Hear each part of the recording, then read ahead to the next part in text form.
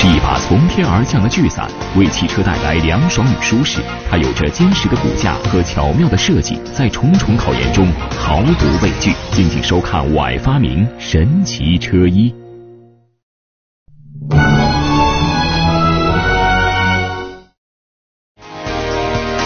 是一把从天而降的巨伞，为汽车带来凉爽与舒适。它有着坚实的骨架和巧妙的设计，在重重考验中毫不畏惧。敬请收看我爱发明神奇车衣。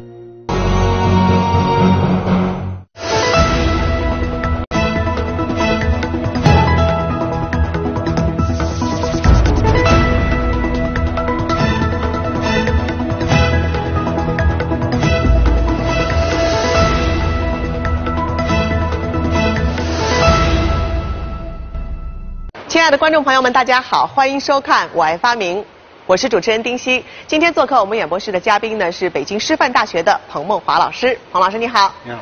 这夏天到了，我相信很多车主朋友啊都有这样的困扰啊。如果把车长时间停在太阳底下，你一开车门一进去，就跟进到一个蒸笼里一样。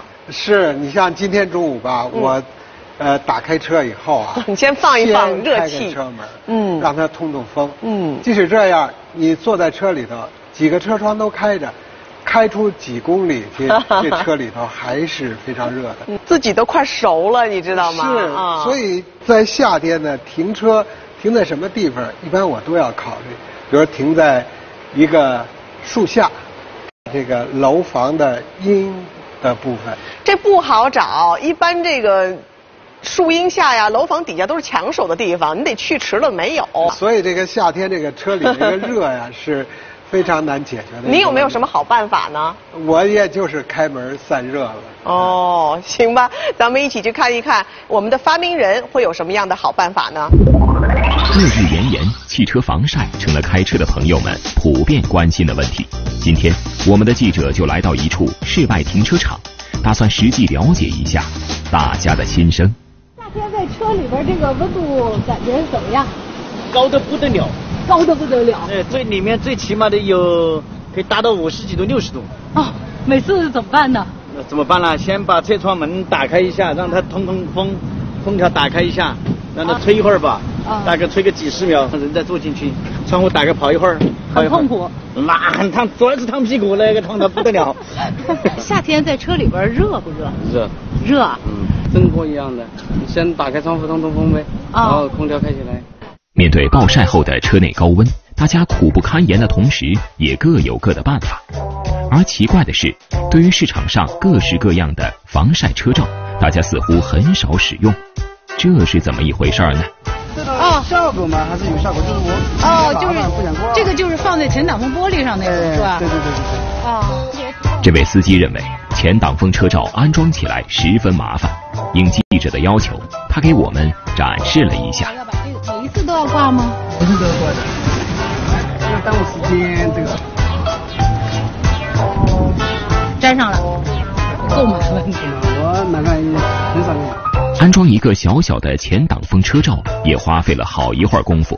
那么，如果要使用市面上的全身车罩，安装起来需要花费多少时间呢？我们来测试一下。掐个时间好吗？计时开始，小伙子立马行动起来。放在后面很久没用。很久没用。你看这个全新的，我买来才用几天。是，这看您这罩还挺新的。有时候放在这里有风哦，一下子吹了，有时上次有一次别人朋友送我两个都掉了的。折腾了半天，累得气喘吁吁，小伙子说话也有些语无伦次。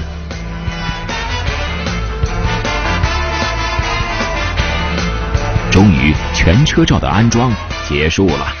三分零三秒，哎，对对也不算时间太长哈，三分多钟。太阳底下就是这会儿功夫搞这个东西，市场的人就受不了，不方便了。你看我放在后备箱都没有用哦。哦，烈日暴晒之下，为了安装车罩而在室外折腾三分多钟，也实在是让人很难接受。采访结束后，记者对一辆室外停放的汽车进行了温度测试。我们发现，车内温度都在五十度以上，而车窗玻璃附近的温度达到了七十六度。一只放在车内用于测试的冰糕，则在五分钟内迅速融化了。车内温度高的超乎了我们的想象。看来汽车防晒的问题不容忽视。然而，现有的车罩都不能够满足大家的需求。那么，有没有一项发明既能够给车起到防晒的作用，操作起来又简单方便呢？发明人林凯发明项目：太阳能全自动车罩。林凯，浙江温州人，一个二十出头的小伙子。母亲很早就为他做好了人生的安排，希望这唯一的孩子能够接受自己的鞋厂。然而，林凯却不愿意接受这样的安排，他希望能够自己把握未来。我妈妈给我铺好路，什么事情都是她来安排。我觉得这个事情，为什么什么事情都是她来安排我的事情？我有我自己的一个兴趣爱好，我有我自己的一个以后未来的一个规划。林凯的兴趣爱好就是开车，他对母亲给自己买的车子爱不释手，不忍心自己的车在烈日下暴晒，于是产生了发明全自动车罩的想法。当时的话，因为夏天太阳很晒，我去那个店里去买一些自动的车罩，想自己方便点，结果买不到，一系列全是手动的，手动的太麻烦了。所以刚呃当时就在想，为什么没有自没没有自动的车罩？所以就萌发了这个奇想。有了发明全自动车罩的想法后，林凯开始对雨伞、桌罩、自动伸缩门等日常用品进行了观察与研究，并动手开始尝试。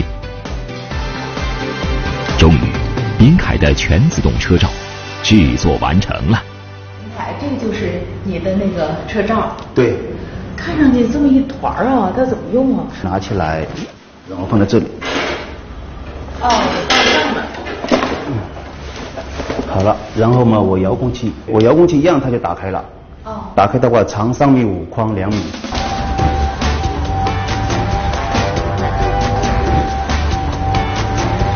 全自动车罩迅速展开了，好像一张从天而降的巨网。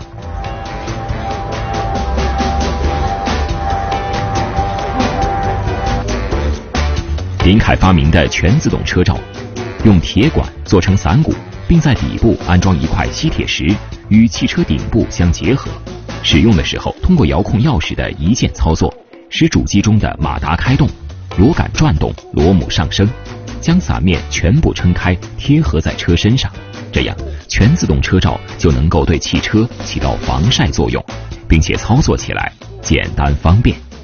你这几条骨还不一样，你看这个就是弯的啊，嗯，你看这个就是直的，嗯，是吧？因为车子的那个结构不一样，然后我每一个点的那个距离也不一样。就这根短，这根长，这个短，这个长。呃，对，有些短，有些长的，就结合，最后就把等于把里边这个给抽紧了。因为布就就这么长，然后把它再进行一个拉，然后把它的形状就拉成这样子。就为了贴合汽车的形状。对对对。黄老师，我觉得发明人的这个全自动车罩啊，特别的神奇。他怎么就能够用这个伞骨把车子给贴的这么好呢？呃，我们说呢，它这个。伞骨的支架是利用的这样一个装置，嗯，你看这跟个栅栏似的，跟栅栏似的，上面都是一个一个的平行圆形。我现在呢，控制这边就可以改变它的长度。但是现在我做的这个伞骨啊，每根的长度都是一样的，哦，所以你看它伸出来是直的。嗯，如果说我在这儿做一个小小的改动，在这儿。你仔细观察。嗯，您看这儿套是几个扣子啊？这几个轴，我是可以给它换位置的。我把这个拔下来，就把这轴拔下来。我把这个轴安到这个位置上去，安过去以后呢，我们把这边给它打开，锁死，嗯，锁死，别让它掉下来。嗯，我接下来再把这个轴换一换位置，也就是这几个转动轴的位置。往前移了，嗯，这样再张开以后，那会有什么样的效果这个四边形就不是平行四边形了，这四条边不一样长了。嗯，就做这样一个小小的改动，我再把它伸开，你看一下出的是什么效果啊？哎，开始跑圈了，这是。是不是变成弯？哎，有一个弧度下来了。这就出现一个弧度，所以通过控制这个杆的长短。我就可以使这个形状跟车身的那个外观形状是一致的，所以你不要怕收起来以后它是这样直的，伸开以后，哎，它就能变换形状。哎，变换形状。另外，我发现它这样做呢，还有一个好处，跟普通的那个车衣，嗯，就是像个雨衣一样的，像个雨衣那个比那要好。为什么呢？原因是什么？外边的伞跟车身间有空气的气息。哦。上边的伞面被晒热了，底下的车身跟伞面肯定有一个温度差。听您这么一解释啊，我就觉得这项发明非常的巧妙啊！咱们一起去看一看这个全自动的车罩啊，在实际的运用过程当中，效果究竟怎么样？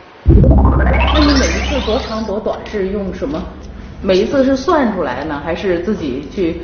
呃，是也是靠自己的一些摸索，也是摸索出来的。啊，因为刚才一次比一次长一点，一次比一次。呃，一次比一次，比如说宽一点的，我们再窄一点，然后往往来往里收这样子。就这样，一共多少次？好几百次了。好几百次。对自己都不知道挤多少次了。那这样行吗？我们去车上，咱们去看一下它能不能完全贴合上。好的，好的。好。那么，这个全自动车罩真的是为车量身打造的吗？它能够将车身完美罩住吗？咱放这个大车上试一下，好吧？哎，这上面是全景天窗哎。对呀。这个吸不住哎。啊？怎么吸不住上？是我给猜一下行吗？呃，猜一下。不是水的问题，因为这个吸铁石的话只能吸铁的，它这个不是，它是全景的，就是是玻璃的话吸不住。真没想到，测试还未开始，林凯就打了退堂鼓。他的车罩因为底部安装的是吸铁石，所以无法适用于玻璃材质的全景天窗。放下来以后，连连吸铁石都没下来，根本就吸不住。实地测验刚一开始，车罩就暴露出了它的局限性。无奈之下，我们只好换一辆普通天窗的车重新来过。这样子，啊，然后再轻轻的推进去。哦，这小轮子转起来。对对，在这个中间的时候，我们把它吸呃吸铁石吸住。啊，吸住了吗？吸住了。这样就行了吗？对对对。我推一下。啊，真的是没事儿。嗯。然后就可以了吗？可以了。好吧，那咱们就打开一下，看能不能完全照住。那你怎么知道是中间呢？就。嗯，对对，因为它呃差不多就情况就没关系。哦。哦，我现在把它打开。车罩展开，它真的能够与这辆车完全贴合吗？哎。哎。哦，没有没有。出什么问题了？没有，是那个当做一个零部件大概卡了一下。只是零部件卡了一下吗？情况好像并不是这么简单，大家发现前部分的车窗还露在外边。罩不玻璃窗那个挡风玻璃都没动。啊，是啊。后面可能露出来太多了，位置不能。面对大家的质疑，林凯也承认了自己的失误。我大概位置没放正，然后它有点斜在那里了。这个应该位置应该是这样子，因为它是有天窗哦，所以我要放在天窗的后面。哦，这车有天窗。对，它没天窗的话，我可以放在前面点。那就往前放不行吗？往前面放，有天窗的话吸不住。吸不住。呃，有天窗的话，它不是铁的，吸不住。绕了一圈，又回到了最初的问题。由于车罩底部吸铁石的局限性，林凯放置车罩时，既要躲过天窗部分，又要保持车顶中心的位置，这个操作起来就有一定难度了。一次失败没有关系，林凯决定将车罩重新安装，再试一次。可以再来一遍，把它前面罩住一点。好吧，那咱再来一遍吧。好的。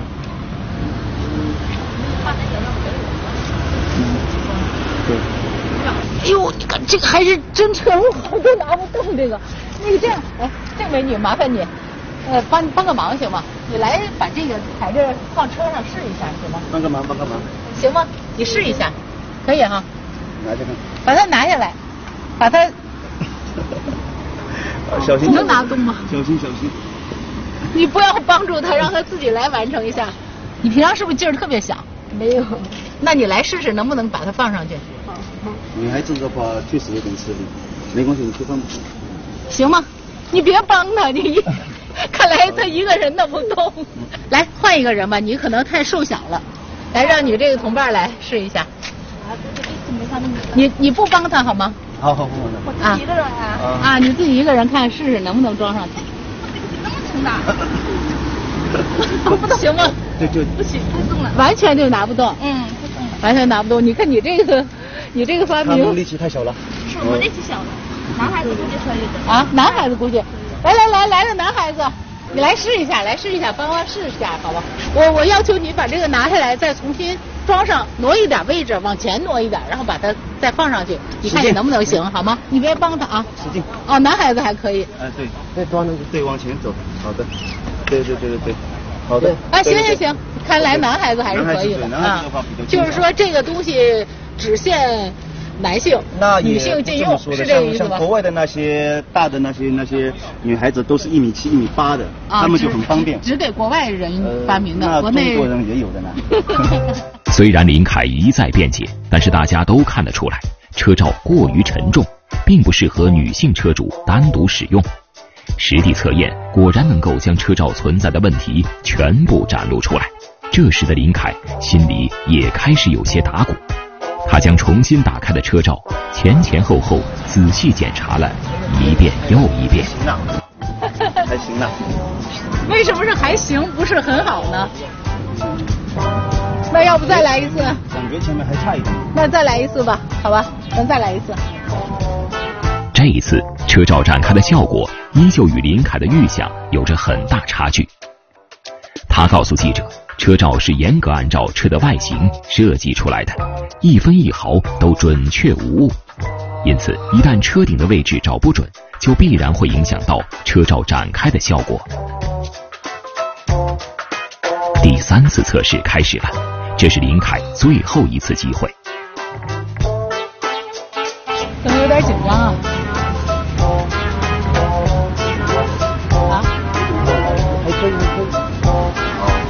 这次好吗？最好，这就最完美的状态了，是吧？这个哎，最完美了哈。车照终于呈现出了最完美的状态，围观的群众又会对它做出怎样的评价呢？你觉得这车照好用吗？应该可以吧，比起没照总好点。我看着好像就是没整个的照到一样啊，稍微在前面好像感觉照不到的感觉一样。啊啊！你担心什么呀？没有那个照到嘛？感觉没有全照上，没有全照上嘛。哦，大家都说你这车罩 没有全罩上，全罩上是不是比你这个防晒效果要好多了呀？那我觉得差差不多，因为我已经把主要的地方全部遮住了。旁边的话，这么厚的铁皮的话，它进不去的应该。哦，您觉得就是说最容易导导最容易导热的地方，我已经全部罩住了。那这样好吗？咱们找一个那个整体罩住的车罩和你这个做一个对比，好不好？行。行吗？嗯嗯。为了更好地验证出全自动车罩的防晒效果，我们打算用普通全车罩和前挡风车罩来与它进行对比。三辆车，然后三个这种防晒的东西，一个是就普通的那种车罩，哎，一个是你的车罩，还有一个就是有人喜欢用的前挡风的这个。咱们现在往车里边放一些这个东西，咱看一下它们防晒效果，好吧？好的。为了更清楚地看到三种车罩的防晒效果，记者拿出了准备好的龙虾、河蟹、蔬菜和冰糕，并将它们平均分到三组塑料盒子里。其中，冰糕在每个塑料盒子里捆成一只、两只和四只。测试开始时，我们会将它们分别放入三辆车内，以半小时为限。最终，车内物品状态保持的最好的那辆车所使用的车罩获得胜利。忙活了十多分钟，一切准备完毕。这时，已有许多行人被吸引过来。他们对比赛结果会有怎样的预期呢？往车里面塞半个小时啊？那他不会死掉。哪个都不会死？啊，都冰糕会化吗？冰糕会，可能会化掉。可能会化掉。是一只的会化掉的，还是两只的会化掉？两只的，两只的都会化掉。都会化掉。呃，四只都会化掉，四只都会化掉。那这个河蟹会怎么样？这个闷死掉，被闷死掉。大家的预测似乎都不乐观。那么这次比赛的结果是否会如大家所料呢？我们拭目以待。那咱们开始哈，咱们三十分钟，好不好？好的。来，开始，咱看看他是什么情况，好吗？计时开始，三辆车子全副武装，严阵以待。烈日当空，暴晒之下，谁是真英雄？第一次遇到这样独特的比赛，围观的群众议论纷纷。这里边有一个冰糕，两个冰糕，四个冰糕。您觉得像这两个，这个冰糕画的多还是这个冰糕画的多？这个画不了。那这个冰糕会画吗？搁里边半小时。这个半个小时的话要画。您还会选这个车照吗？车照是，这是跟着每个人的爱好，我是想选这个，是不是？啊。大家的想法各不相同，林凯则对自己的车照坚信不疑。你会觉得比那个全遮的要温度？你心理预期这俩温度能差多少？五六度左右吧。比如我的车罩里面，比如说是四十一度的话，那它应该在四十六、四十七度。哦，它比你的还要高。啊，对，应该是这样子。你还这么有信心啊？这个没想到。好吧，那咱等着。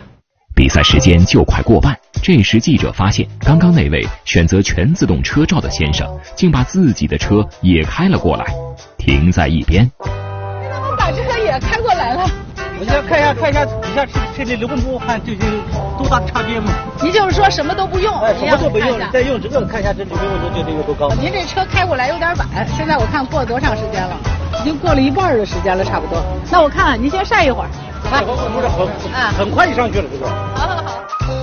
这位热心的先生也想实际的看一看自己的车暴晒后的温度究竟有多高。这样一来，四辆车排排站，比赛似乎更有意思了。接下来，我们对全车罩的表面温度进行了测试，温度显示在四十度左右。那么，全自动车罩呢？它的表面温度会有多高呢？你说你这个多少度？你估计？它这个四十一度啊。啊。那我这个三三十多度啊。四十五度，你这比它还要高，四十六度。啊。你看四十七度。那为什么这个比那个温度要低多了？你看现在看着。它这个温度在里面。是三十九度、四十度的样子，那边就到了四十七度，这是怎么回事呢？防紫外线的嘛。啊，把紫外线反射掉了，所以它这个就比较对呀，它不温度就低了。里面温度高嘛。啊，你这个是不是不防紫外线？防紫外线百分之九十五以上啊。那就是怎么怎么温度这么高？对呀，那你温度怎么高？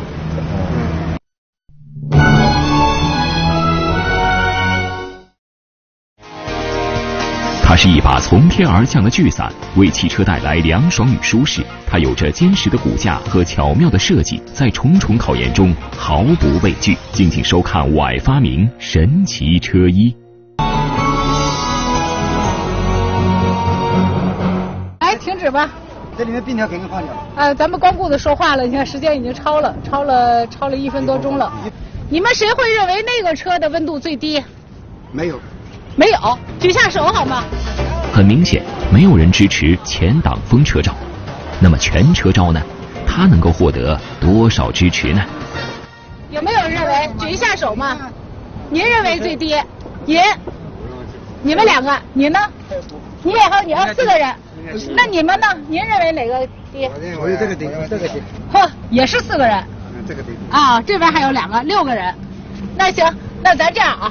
一会儿咱们拆开看，谁这回要说准了，里边那大闸蟹就归谁晚上吃了，好不好？好不好？来来来来来，谁猜对了，大闸蟹就归谁。这样的奖励让大家都迫不及待的动起手来。不到一分钟，三辆车的车罩就都被拆卸下来了。究竟谁会胜出？我们先来看一看使用前挡风车罩的这辆车的情况。这个车啊，虽然没有人支持，但是咱也看一下情况，好吧？哎，咱们量一下温度。量温度，我家就死掉了。多少度？五十九。五十九度，六十度。啊？六十一，六六。六十一。这都汤掉了，秧掉了。太不行，太不行了哈！哦。劳驾，谁给我放在那个中间去？一会儿咱们比一下。大闸蟹怎么样？大家来看看。挂掉了，挂掉了。哎，好像这个小龙虾还活着。来，咱放在中间吧。前挡风车罩的效果似乎不大好。那么全自动车罩这边的情况怎么样呢？这是谁哪一派的？来看这个温度，这个里边温度好低。你们这个温度低一点。这多少度？四十二度。四十二度。啊，四十一度。四十一度，四十一度。车内温度在四十一度左右，看来林凯的车罩效果要远远好于前挡风车罩。那么他能够获得最终的胜利吗？接下来我们将冰糕全部拿出来，打算将三辆车里的物品统一进行比较。来，先把菜搁在一块比一下，来，哪个菜好啊？这三个？中间的好吗？中间的新鲜的。这两个差不多，我觉得。啊，这个差点。阴了，阴了。最高的是哪个？大辉指一下。我看哪个手指头多。中间的。这个多哈。好嘞。一分分。那我们再看一下冰糕的情况，哪个冰糕好一点？这个这个还是中间那个，还是这个吧。冰糕多嘛？你现在冰糕多一点嘛？冰多一点啊。是，中间的中间那个好一点，嗯，稍微这还两个还要大一点。你们也认识了？那螃蟹可就归人家了，一会儿。来看看这个螃蟹。螃蟹活的嘛？螃蟹我们那全部是活的，都是活的，都活的，都是活的，都是活的。那行了，你们抢抢螃蟹吧。拿着点螃蟹。毫无疑问，林凯的全自动车罩使用效果最好，赢得了本场比赛的胜利。这时，刚刚那位热心的先生也想测量一下自己那部车暴晒后的温度。时间有点短，我看一下。哦，我的天呀！我家最起码六十多度。你知道是多少度吗？你过来看一下。我天，那八十度了。感觉怎么样？啊，那也太烫了，八十度。太烫了是吧？比赛在一片欢声笑语中结束了，大家纷纷散去。赢得了比赛的林凯本该十分欢喜，然而回到停车场后，我们却发现他愁眉不展。这是怎么回事呢？怎么了？没电了。怎么了？没电了？好像是没电了，怎么收不起来？是那个电池里边的电没充够。没有了，哎哎。没充够。哎。能不能就把它硬给合上呢？合不起来。不是它可以伸缩吗？合不起来。收起来不行吗？合不起来，这力量太大了。只能拆呢。拆呀？对，拆。怎么拆呀？先拆吧，先拆吧，头大了。林凯钻入车罩，狭小的空间让他根本施展不开。费了九牛二虎之力，他才将一小排伞骨拆卸下来。拆完一排啊？拆完一排。哦，把它拆成这样了。嗯嗯，拆出来两个螺丝拧下来。哦，那然后怎么办呢？呃，然后还要拆这么多。全都拆了。全都拆。约四十分钟后，全自动车罩就变成了一地的散碎零件。就拆成这样了。就。这怎么办呀？就这样呗，先拿回去呗。看着这一地的铁管，林凯的心无比沉重，胜利的喜悦早已荡然无存。回到办公室，他将车罩存在的问题总结为三点：第一，车罩太过沉重，不适合女士使用；第二，主机底部的吸铁石不适用于全景天窗；第三，车子一旦停电，车罩。就很难拆卸。针对这三个问题，林凯仔细研究后，对全自动车罩进行了全方位的改进。首先，他将伞骨的材质改为塑料，这样可以减轻车罩自身的重量。其次，他将车罩底部的吸铁石改为吸盘，以此来适用于全景天窗。最后，他加装了一个车用的充电接口，以此来解决停电后车罩难以拆卸的问题。车罩大变身后，重量固然轻了许多，但是质量如何呢？吸盘固定是否牢靠？塑料伞骨是否结实？我们还得实际测验一下，才能知晓。为了测试车罩的牢固性，我们找来了三台工业风扇，打算对它进行不同风力的测试。这个是全景天窗的。对对对，这个是吸盘，这样子一吸就吸住了。动了吗？对，这个就是已经吸住了。那然后呢？直接放上去，直接也是这样子，有四个小轮子。这底下啊。对，然后再一样，就是没磁铁了，就是。对对对。啊。然后一推。风一吹。哎哎。它会不会就把这个给吹跑了呢？不会，这个吸住的力很大的。咱们试一下哈。好的好的。好。车罩顺利展开，然而这一次记者发现，撑开的伞面似乎并不像上一次那般挺直。那个上一代看上去那么精神呢？骨架说不定没有那个第一代的那个铁的这么这么硬朗。如果有风来刮它的时候，会不会那个什么？这个应该不会吧？应该不会。应该不会，哎哎。嘴上说着没事儿，但是我们看得出来，林凯心里还是有些忐忑。那么，改进后的车罩到底行不行呢？测试之后，立见分晓。啊，风力挺足的，来。咱们这样三个风扇一起吹，好吧？一起打开来，看看这个车罩的那个吸盘能不能脱落。它能抗多少级风？这个？按我估计的话，应该四五级吧。四五级风都能抗住，应该应该可以啊这吸盘还不错。此时的林凯信心十足。过了不到五分钟，车罩在三台电扇的合力作用下，似乎出现了问题。我觉得好像前面有点变形呢？哎，撞了，啊？撞了怎么了？有一个断了，哪儿断了？有那个骨架断了。里边的骨架断了。测试这才刚刚开始，林凯的车罩竟然如此不堪一击。这个是这是有有问题，你看都飘起来了。哦，撞了撞了，已经撞了。伞骨被吹断了，那么吸盘此时的情况如何呢？地方没走，吸盘没动，位置很很牢固啊。啊，现在却是伞骨出问题了。那我还想做其他的测试呢，也没办法做了。测试被迫终止，这一切都太出乎意料了。记者一时之间也不知该如何劝慰他。那怎么办呀？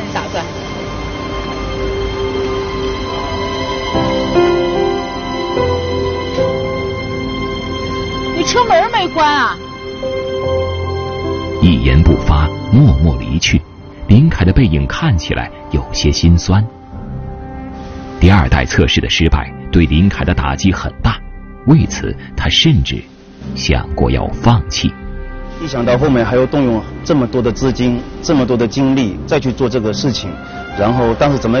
当时的话让我萌生了一个念头，就是我妈妈给我安排好的事情，为什么我当时不去接受这个事情？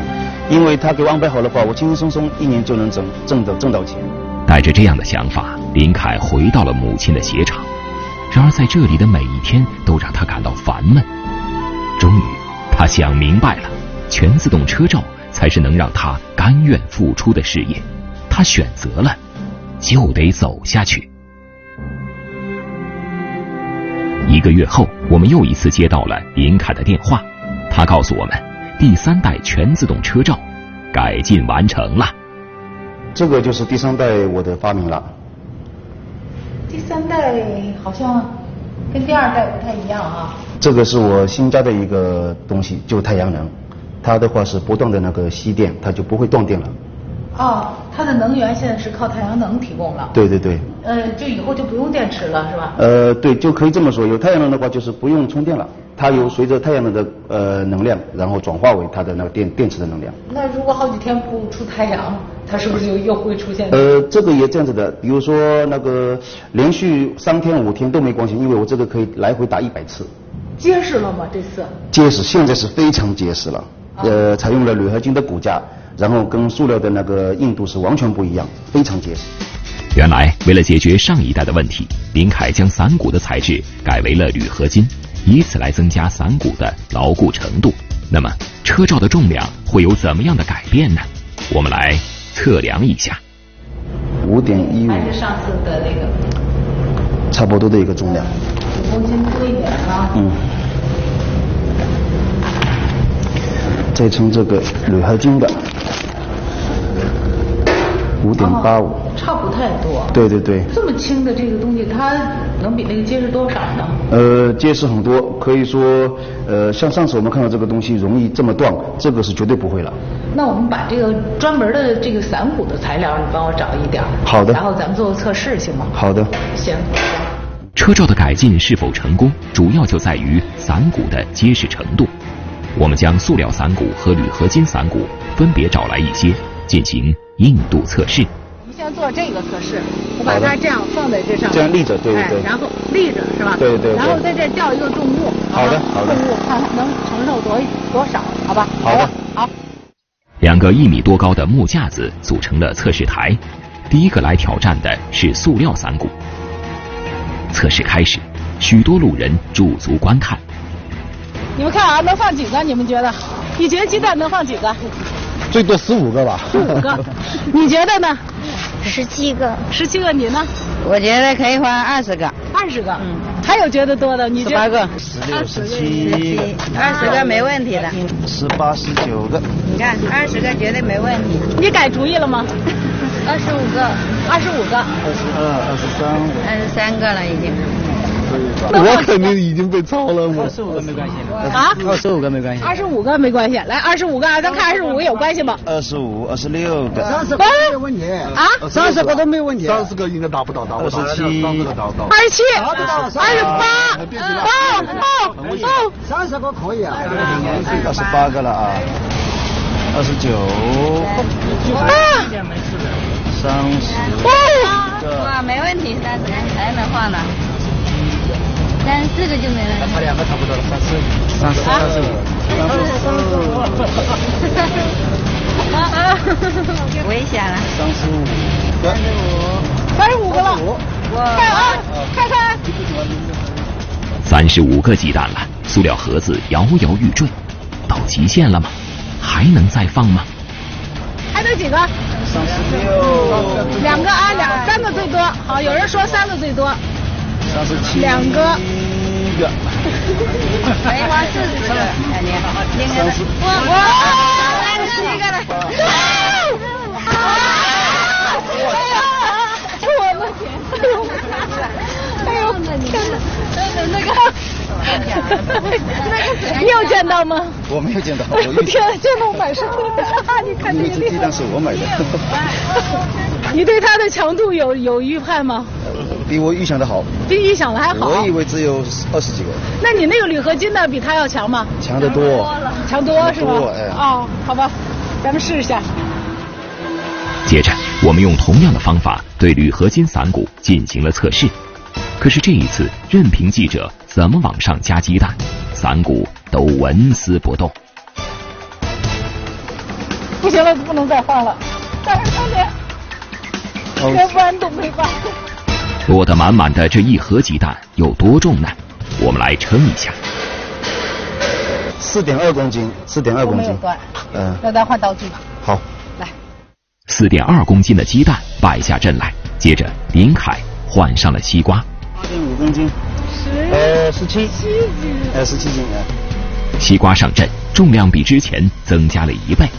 那么这一次铝合金伞骨还能顺利过关吗？这个好像不在中间，在中间吗？居然没断。那咱们再放铁块吧。好的。西瓜也败下阵来，随后林凯拿来了一块二点七五公斤重的铁块。这一次铝合金伞骨会不会断？大家的意见各不相同。我觉得不会断，你觉得呢？不会，这个很牢固的。不会，嗯，应该会断吧？应该会断。哦，为什么？就看起来很危险的样子吗？已经很危险了哈，这样不行吧？能断不了。这也不哦，还没断。一块铁不行，再加上一块，二十四斤了。二十四斤了。呃，这个要不就这个铁，你看已经弯成那样了，咱试试。要不称一下？你觉得会断吗？这次？差不多了吧。看看看，敢不敢撒手？敢撒手吗？别乱撒手。不会，不会。我去。来来来来，再加一啊！大家一块看看看。不会，还我觉得还不会。干不了吧？应该。我怎么样？哇，真厉害！我我天哪，吓人呀！不会不会不会。哇塞！不会，还有还没断呀？来，那两还有两片铁，这次肯定要要要要那个什么了，两块一起吧。这两块加上你肯定会断。肯肯定会中的。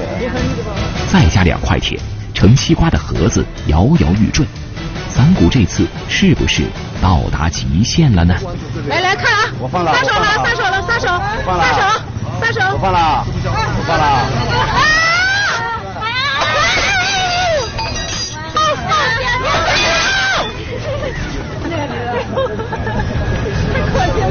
还是很满意是吧？满意满意。就说明它的强度还是很棒的。哎。比那个。比那个塑料好多了。来，我看一下你这个。还是弯了。我这小的就好，一人发一个，坚决。不过还没断。还真不错哈。还没动。来来来，咱们实地测试一下去，好吧？好的。好。来。这次测试铝合金伞骨的牢固度比上一代的确硬朗很多，这给了林凯很大的信心。他告诉记者，全自动车罩可以一直安装在车顶，开车的时候不会受到任何影响。为了更好的验证车罩的牢固性，我们来到一处公路，打算对全自动车罩进行一次实地抗风测试。哦，这速度起来了。对，这个有六六七十码了吧？结实的很嘞。哎，我觉得还是有点晃，不要紧的吧？那晃肯定的，这么大的风肯定会晃动哎。车子还在加速，风在窗外呼啸而过，车罩被刮得呼呼作响。林凯不禁开始有些担心。吸盘我都不不不怕，你这个骨架被这个上面上面打打打的刀，那不撞。十几码了，八十码了。八十。哎，八十。八十跑了这么快，九十了，都跑太快了。一百了。速度开到一百迈，车罩在风中不断飞舞。就这样，车子在路上奔跑了两个多小时。这一次，车罩能够经得住考验吗？我们一起来看一看。你看，看个骨架，骨架也好的。再打开看，还能打开吗？如果要断了，会出现什么情况？断了就打不开了。就完全打不开了。对对对对。它就别住了，是吧？对对对对。哦，哦，全打开了。哦，还真是挺硬的哈。嗯，不错不错不错。防风测试顺利完成，林凯心里十分得意。然而收车回家，他却看见母亲正等在自己家的门口。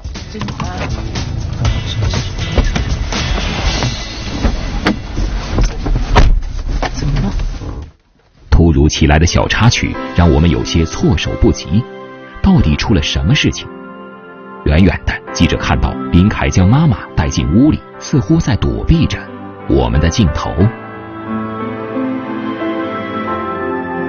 到我妹妹家里去，借钱怎么发明什么东西，我是叫他这个都不用做，是吗？有吗？原来为了改进全自动车罩，林凯向亲戚伸手借了钱，而一开始就对这个发明持反对意见的母亲，心里是既愤怒。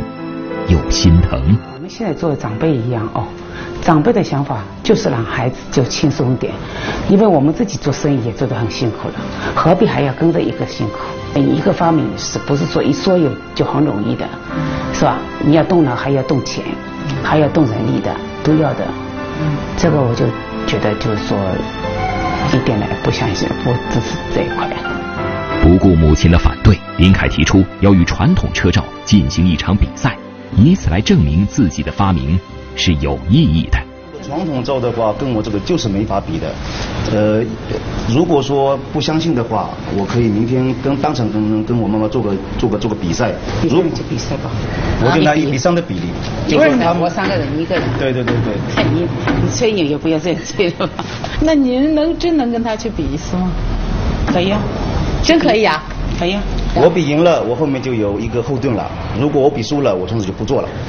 行吗？行，为了他死了心嘛，死了这颗心。为了让林凯死心，母亲答应了儿子的挑战，希望他能够在实际的比赛中获得教训，放弃这些不必要的坚持。第二天，林凯与母亲各准备了十辆车，二人要在规定的时间内将这十辆车分别盖上车罩。最终盖的又快又好的一方获胜。您有信心吗？您带着这两个助手，应该有信心吧？你们三个人，对。那你呢？就我一个，顶三个。绝对是啊。那咱有一个公平一点吧？你是他们三个人可以一起照呢，还是？不行，他们要自己一个人照一个。一一个人照一个可以吗？我们就是一个人一辆车啊，也比他强，可以吧？声势浩大的比赛吸引了许多观众。记者随即提出，比赛后输了的一方就将自己的车照送给大家。这样送给现场的观众好不好？敢吗？敢，那我要拼命了，我这里。你敢吗？敢，敢，敢，必须敢的。好，敢，那就这样吧，预备。记者一声令下，双方都迅速的进入工作。由于心情过于急切，大家都显得有些手忙脚乱。看着双方都忙得不可开交，大家都在一旁乐得前仰后合。这光把先把吸盘放上是吗？对。跟我说话了都。原来林凯在安装车罩前，要先将吸盘一一安在车上，这明显拖慢了他的速度。而另一边，母亲则十分精明地购买了十个带松紧带的车罩，有效地提高了效率。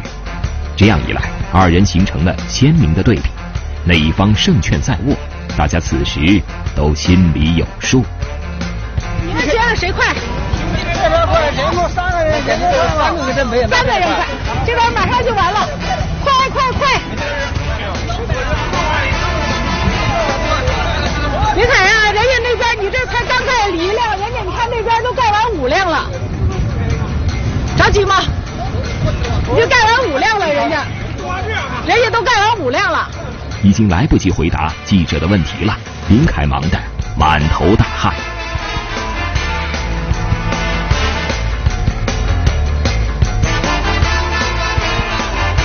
比赛接近尾声，突然一阵大风袭来，普通车罩这一边瞬间乱了套。这个不行啊，这个这个效果不行，这个这个效果这个不行，这一会儿就吹吹走了，快！打两个大哥，二郎。看着刚刚盖好的车罩被吹得乱七八糟，大家都开始喝倒彩。而另一边，林凯的车罩却平稳地立在车顶，纹丝不动。你觉得谁会快？现在又改成这个快了。现在又这个快。终于，时间到，比赛结束了。好了，完了没有？好了，已经好了。林凯这一边已经全部完成了任务，而母亲那边却依旧在手忙脚乱地做最后的努力。停吧，停吧，停吧，你们停吧！这这这算盖完了吗？你这个就算盖完了？呃，还行吧。这个算盖完了，这也太过了，这算过了盖。怎么样感觉？我的快吗？你的快。你们我喊停的时候，你为什么不停啊？想赢吗？想赢。你我停的时候，你跟老师说还差几辆？还差两辆半。还差两辆半 啊，好吧，那实际上时间就差两辆半，嗯，人家还算是挺快的。我一个人哎，他三个人哎。但是咱们看一下质量好不好？咱们互相看一下，这样来，你先看看你，你先看看他的质量怎么样？看看你儿子这质量怎么样？我觉得这里还行啊，还行，一般化吧。一般化哈，行，那咱们就看看你的吧，好吧？好。你觉得他这质量怎么样？太差劲了。啊？你觉得质量还行吧？啊，将就将就还行了哈。这些我哎，怎么？为你你不能给人家提，这是这是你。这我没弄，这我没弄。这刚开始还好好的，风吹的。这风吹的。啊，好好的。那第一辆你觉得合格吗？吹的，吹的很长的。第一辆不是第一风大吗？哦，是吹的 啊。那咱们再往这边走走看看。这个压下来，压下来。你看这这个戏都没戏哦。是吧？他是偷工减料的了。偷工减料了。不偷工减料怎么赢你？第四辆还行，第五辆怎么样？哇，全部废掉了。第五辆就不行了，第六辆，怎么越往后边这质量越差呀？你们这都谁盖的？这个是我盖的。这你盖的？还有这个越野车是我盖的，你盖的最多。你盖的我，你盖了几辆？我盖了四辆。你盖了四辆？盖四辆。对你自己盖的满意吗？啊。这还叫满意啊？这个勉强满意吧。虽然百般辩解，但是胜负已分，母亲这次要愿赌服输了。心里有点点服了，比试着应该试着应该要支持我了，支持我的事业了。那你觉得他花这些钱冤枉吗？不冤枉了，现在不冤枉。放冤放枉吧，还是犯冤枉。您这车罩得送人了。我这里十个都送上。你看呢？你们说呢？送吧送吧送吧送吧送吧啊！送了，愿赌服输嘛送吧，对啊，愿赌服输嘛，愿赌服输。最终车罩被大家一抢而空。林凯发明的太阳能全自动车罩，采用一键操作，方便快捷，节省了人力。在经过了一系列实地测验和改进之后，其防晒效果以及坚固程度得到了大家的一致认可。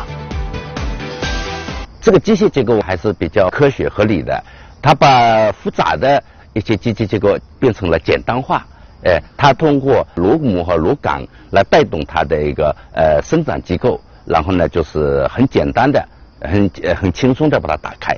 但是呢，我们现在呢就是说在重量和体积上面，呃还要进一步的缩小或者减轻，这样的话更受我们用户的欢迎。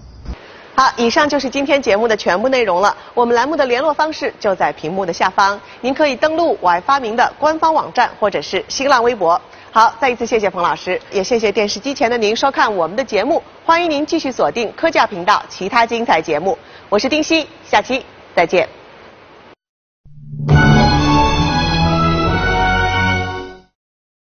美味海鲜叫人赞不绝口。面对转瞬即逝的时令海鲜，发明人拿什么来一饱食客们的口福？敬请收看《我爱发明》扇贝脱衣记。